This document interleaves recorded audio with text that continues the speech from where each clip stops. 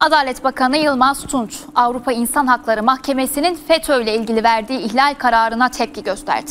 Mahkemenin yetkisini aştığını ve emsal teşkil etmeyeceğini söyledi. kararı e, kabul etmemiz mümkün değil. Avrupa İnsan Hakları Mahkemesi, baylok kullanmak, Bankasya'da hesabı olmak ve gizli bir tanığın verdiği ifadeler gerekçesiyle mahkum olan öğretmen Yüksel Yalçınkaya'nın açtığı davada Türkiye'nin insan hakları ihlalinde bulunduğuna hükmetti.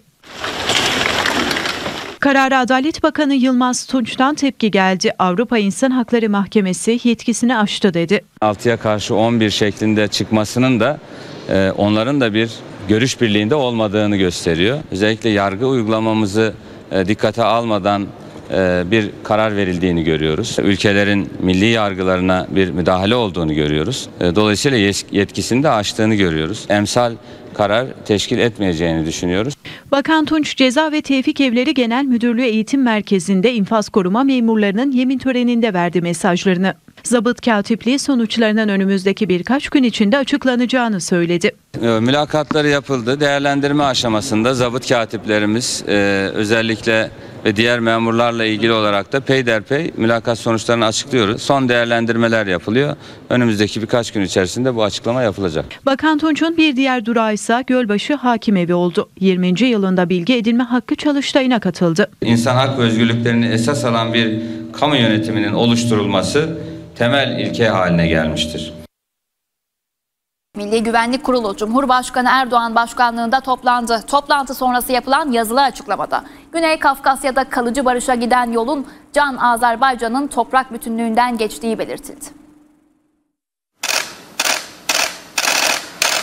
Milli Güvenlik Kurulu Cumhurbaşkanı Erdoğan başkanlığında toplandı. Kritik toplantıya Genelkurmay Başkanı Orgeneral Metin Gürak, Kara Kuvvetleri Komutanı Orgeneral Selçuk Bayraktaroğlu ve Hava Kuvvetleri Komutanı Orgeneral Ziya Cemal Kadıoğlu ilk kez katıldı.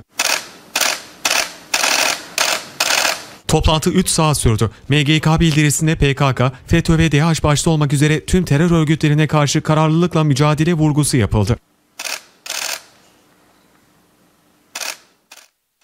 MGK'nın gündeminde Karabağ operasyonu da vardı. Güney Kafkasya'da kalıcı barış için Azerbaycan'ın toprak bütünlüğüne vurgu yapıldı. Başta Ermenistan olmak üzere tüm taraflar ahdi yükümlülüklerini yerine getirmeli denildi.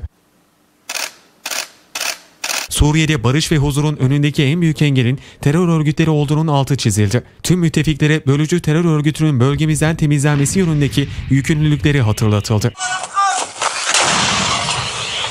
Bildiride Birleşmiş Milletler barış gücüne Kıbrıs uyarısında bulunuldu. Çifte standarda tutumun Birleşmiş Milletler'in tarafsızlık yükümlülüğüyle bağdaşmadığı ve itibarını zedelediği belirtildi. Türkiye'nin uluslararası hukuk ve anlaşmalardan kaynaklanan hakları çerçevesinde Kıbrıs Türklerinin güvenliği ve huzurunun teminatı olmaya devam edeceği vurgulanmıştır denildi. Ukrayna-Rusya savaşı ve Karadeniz tahıl girişiminde MGK'nın gündemindeydi. Türkiye'nin savaşın kalıcı bir barışla sonlandırılması yönündeki gayretlerini sürdürme kararlılığı teyit edildi.